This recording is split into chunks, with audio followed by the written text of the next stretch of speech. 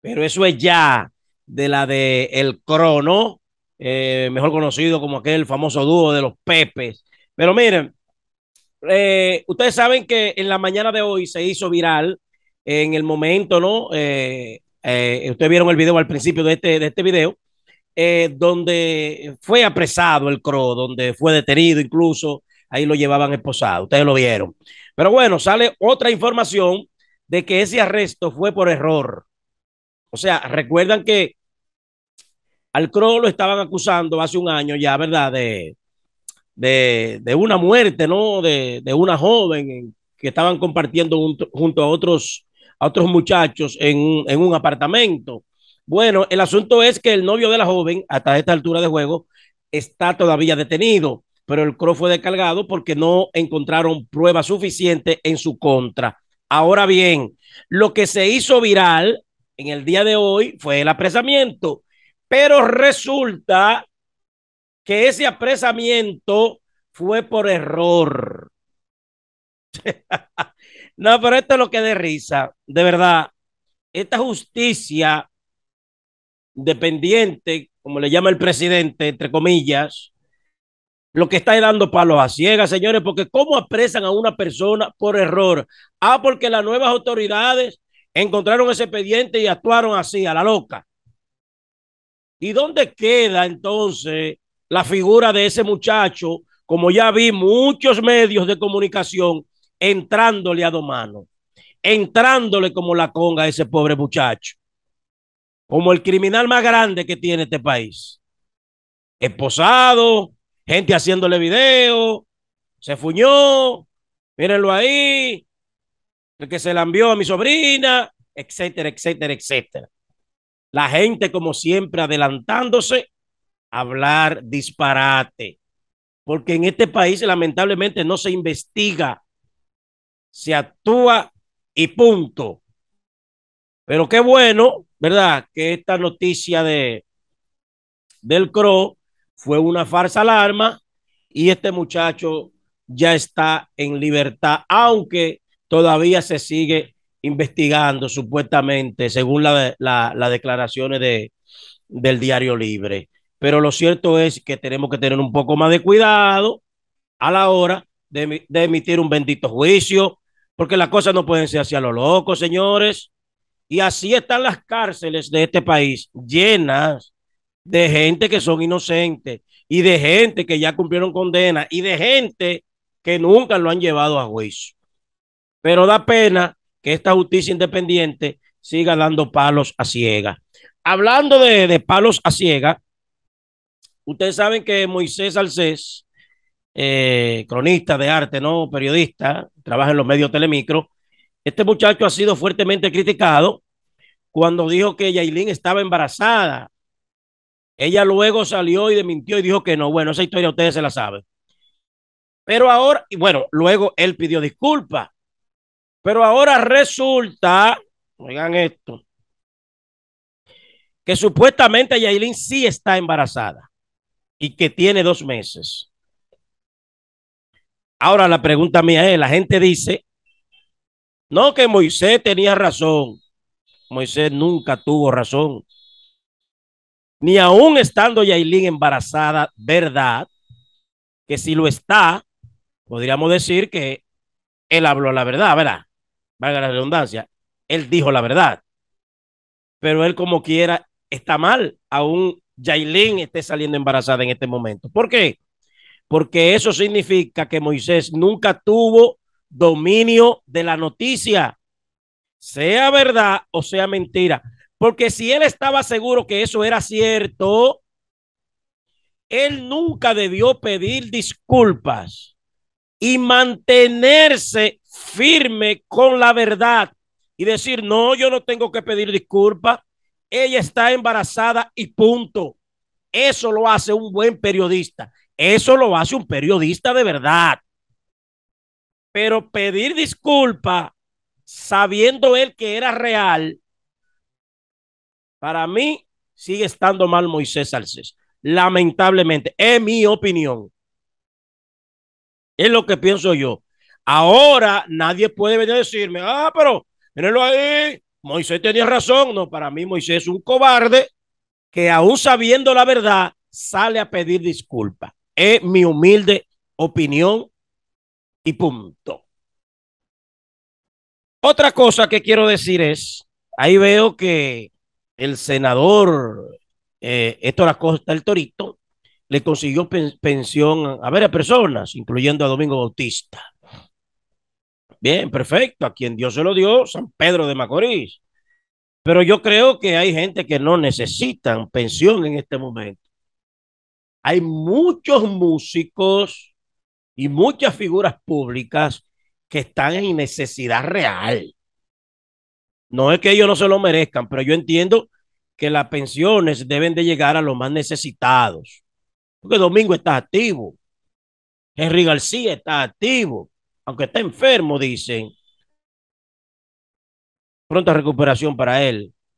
Pero lo cierto es que estos pensionados que van ahí todos los meses a buscar chequecitos de, de 7 y 8 mil pesos, creo que se lo pusieron a 10 mil pesos ahora. Esa gente, esas pensiones son, no dan ni para comprar sal, como dicen en la pelota. Promedio bajito de, de salario. O sea, vamos a estar claros, señores. Al César lo del César. Yo entiendo que una figura como la de Domingo Bautista no necesitaba una pensión por ahora. Pero bueno, este es el gobierno que cree que nombrando figuras y dándole privilegio a figuras, cree que se va a mantener en el gobierno. Como vi un comentario por ahí, que la gente entiende que la entrevista que le dio el presidente a Santiago Matías es porque se está recortando, porque como él se va a repostular, él está buscando los votos. Y hay que recordarle al presidente que Santiago Matías le metió todos los cañones, todos los poderes a Gonzalo Castillo y Gonzalo perdió. Hay que recordarle, no toda esa gente que usted ve con muchos seguidores en las redes, no necesariamente se convierten en votos. ¿eh? Vamos a estar claro. Porque todos esos seguidores que tiene Santiago y muchos influencers también pertenecen a otro partido. Y porque, por ejemplo, Santiago Matías le diga, no es verdad que esa gente van a votar por X candidato porque él lo dijo. Eso no es verdad. Así que bájese de esa nube, señor presidente, y no te ese de ahí. Recuerden, le voy a decir lo que yo dije en el análisis jocoso a los foques a Sara. Téngase mucho cuidado, ¿eh? Miren, tenemos que seguir hablando. Y me pregunta una persona en el día de hoy que por qué Samuel Mata, el hermano de Boca de Piano, no está en la plataforma del hermano. Bueno, yo entiendo que eso es de Fausto Mata y yo hasta donde yo sé, Samuel está en otra plataforma que se llama Capecúa Radio Show. Y yo creo que irse Samuel para donde Fausto Mata, yo creo que sería hacer más de lo mismo. Yo lo entiendo que es por ahí, aunque no descartemos que más adelante veamos, ¿verdad? A Samuel Mata al lado de su hermano haciendo, haciendo contenido. Es lo que pienso yo. Bueno, señores, y tenemos que hablar, señores, de Albert Pujols. Miren, Albert Pujol conecta su cuadrangular número 690 de la campaña, señores. Está a 10 cuadrangulares Albert Pujol de lograr la marca de los 700. Le faltan cuatro, le faltan seis para alcanzar a Alex Rodríguez, eh, que quien es el latino con más cuadrangulares, señores. Eh, ya Pujol está cerquitica Vamos a ver si lo logra en esta temporada. Recuerden que los Cardenales nada más lo están poniendo a jugar frente a bateadores zurdos, pero él está aprovechando ese momento. Cuando el hombre sale a jugar contra pitcher zurdo, ya ustedes saben lo que sucede. Está bateando 300 y pico frente a bateadores zurdos. Y ese cuadrangular lo conectó nada más y nada menos que en Colorado.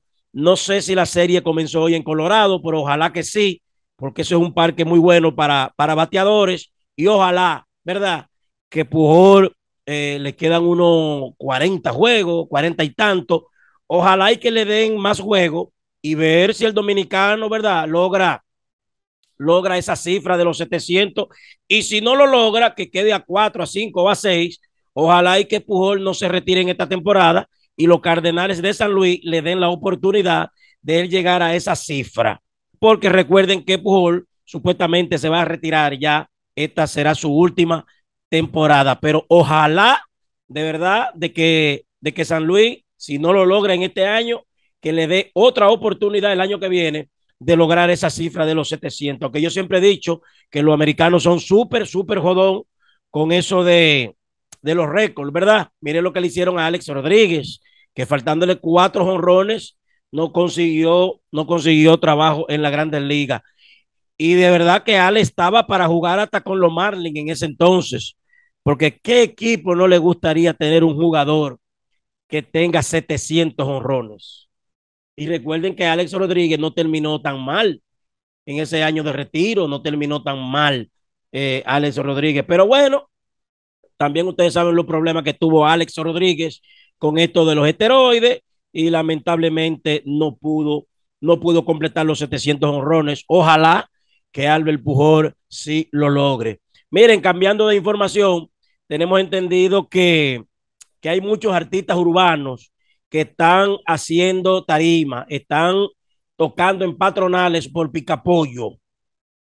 Estamos haciendo las averiguaciones porque no quiero eh, hablar eh, disparate si no tengo la información a mano, pero me estaban comentando hoy que hay unos cuantos artistas que están tocando sumamente barato, artistas que tienen nombre, artistas que tienen nombre, pero vamos a hacer las averiguaciones y vamos a decirle cuáles son esos artistas que están tocando prácticamente por nada. Y de verdad que da mucha pena que los urbanos, que tienen un buen momento, ¿verdad? De, del espectáculo, tienen el espectáculo agarrado por el, por el mango, como dicen, y estén cualquierizando su trabajo. Miren, tenemos que hablar de Mark Anthony y el famoso video de Mark Anthony, donde les tiran una botella. Eh, muchos dicen que fue una botella de alcohol, otros dicen que fue una botellita de agua pero lo cierto que esto es de muy, de muy mal gusto, lo que pasó Marc Anthony, que por cierto se veía muy maltratado, se veía muy acabado Marc Anthony, ¿qué está pasando ahí? ¿Qué está pasando con muchas figuras artísticas que lo veo como, como demacrado, como maltratado? Eh, ¿Será cansado? ¿Qué es lo que está pasando? ¿Será el consumo? ¿Será el estrés? ¿Será el cansancio? Hay que averiguar qué es lo que está pasando pero lo cierto es que qué bueno, ¿verdad? Que, el público se calmó y las cosas no llegaron a mayores. Eh, y qué bueno que también se, se, toparon con un artista muy bien educado como Mark Anthony, que pudo frenar eso. Que hablando de Mark Anthony, creo que él y Juan Luis Guerra frenaron, eh, suspendieron un concierto, creo que fue en Perú, creo que fue por ahí, por esos lados, por ahí, suspendieron su concierto y lo cierto es que, miren, hablando de eso que le pasó a Marc Anthony, eh, es preocupante, es bastante preocupante lo que está pasando con la sociedad. Yo creo que va a llegar un momento que ni siquiera se van a hacer conciertos, porque la gente está muy alborotada, la gente está que pelea de cualquier cosa, señores. La gente está muy violenta, demasiado violenta está la gente, y yo creo que las cosas no deben de ser así. Miren, en